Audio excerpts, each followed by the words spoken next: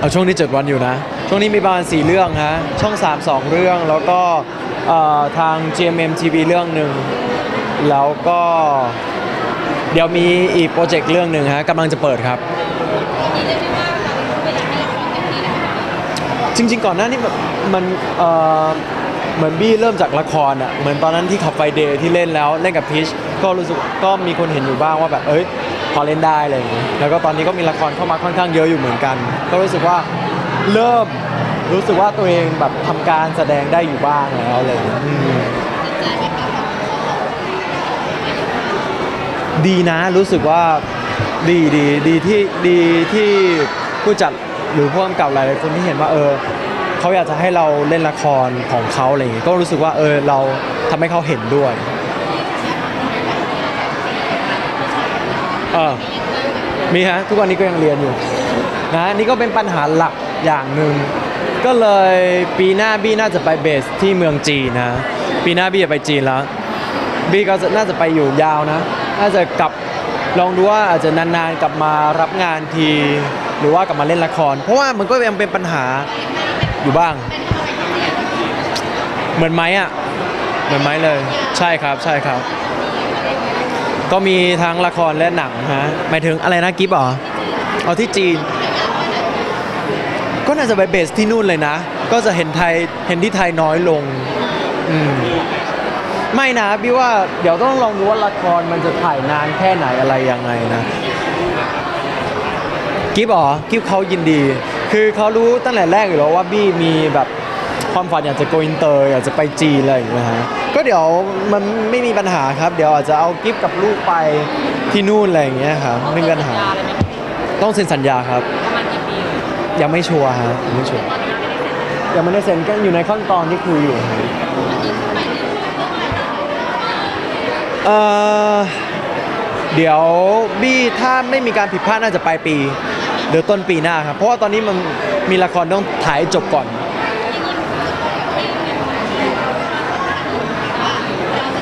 พันธง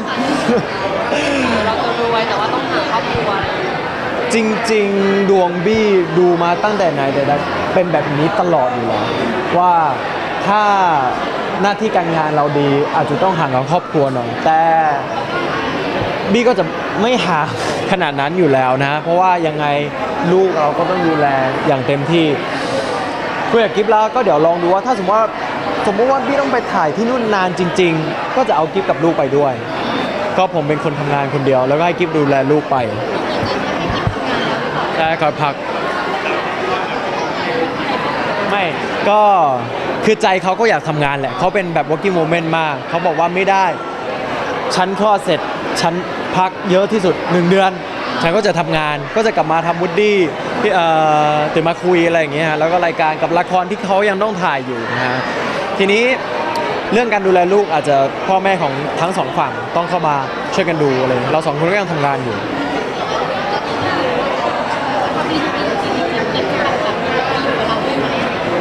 คือใจกิฟเขาอยากไปนะ คือกิฟเขาอยากไปอยู่แล้วแหละนะฮะก็เดี๋ยวลองดูเพราะว่าโปรเจกต์ที่นั่น ตอนนี้มันก็แคนเซิลละครจากจีนไปเยอะอยู่เหมือนกันนะฮะเพราะว่าเราก็ได้รับละครที่ไทยแล้วแล้วก็ มันก็ต้องปฏิเสธไปก็เสียดาย แล้วแต่ละเรื่องแบบดังอะแบบมีแองเจล่าเบบี้เล่นด้วย แล้วก็ของผัวที่เป็นแบบแถวหน้าข้างข้างข้างหน้าเลยพี่แบบอ๋อเสียดายมาก แต่ว่าไม่เป็นไร อะไรที่เป็นของเรา มันก็เป็นของเราคุ้มค่ามากๆอ่าจริงๆ ตอนนี้พี่ก็ดูแลอยู่บริษัทเดียวกับไมค์ นะฮะชื่อ Handsome ฮะก็เป็นบริษัทที่ใหญ่อยู่พอสมควรนะฮะล่าสุดก็ไปเปิดตัวที่จีนนะฮะเขาอ่ารวมบริษัท 5 บริษัทใหญ่ที่ไต้หวันที่เกาหลี แล้วก็ที่จีนด้วยที่ไทยด้วยนะฮะก็น่าจะเป็นโปรเจกต์ใหญ่อยู่เหมือนกันนะฮะแล้วก็ผลงานแต่ละชิ้นที่เขาหาเข้ามาให้เราเนี่ยมันใหญ่มากๆ ฉะนั้นเราก็วางใจกับเขาได้นะฮะก็เตรียมตัวไปปีหน้าครับมใจกับเรางานนะ ล่าสุดท้องแหลมมาก คือแบบคือคือทุกวันทุกวันนี้ก็กลัวเขาจะคือเขาท้องแข็งบ่อยมาก แล้วก็ล่าสุดเราไปหาหมอ ตอนนี้มดลูกมันห่างแค่ไม่ถึง 2 เซนแล้ว ฉะนั้นมันก็คือมันจะก่อนก่อนคลอดก่อนกำเนิดอยู่แล้วนะฮะ ก็น่าจะเป็นเออคลอดก่อนกำหนดนะฮะ แล้วก็น่าจะเป็นต้นมิถุนาเร็วๆนี้เลยในเร็วนี้เอ่อ ก่อนกำหนดประมาณถ้าสมมติว่าต้นมิถุนาก็เร็วขึ้นประมาณ 10 วันนะตื่นเต้นตื่นเต้นมากอะกังวลตอนนี้เขาแบบทุกอย่างอะท้องแข็งบ้าง ตะคิวกินบ้างมีก็บอกกิดนี่ลูกยังไม่ออกมา ก็เหมือนซ้อมเลี้ยงลูกอะตอนนี้คือแบบตื่นบ่อยมาก เครียดเครียดเออตะคริวกินอ้าแล้วแล้วนางก็ดูปวดมากไงอืมก็แบบสงสารนะเออก็เห็นใจว่าเห็นใจรู้เลยจริง ๆว่าการแบบ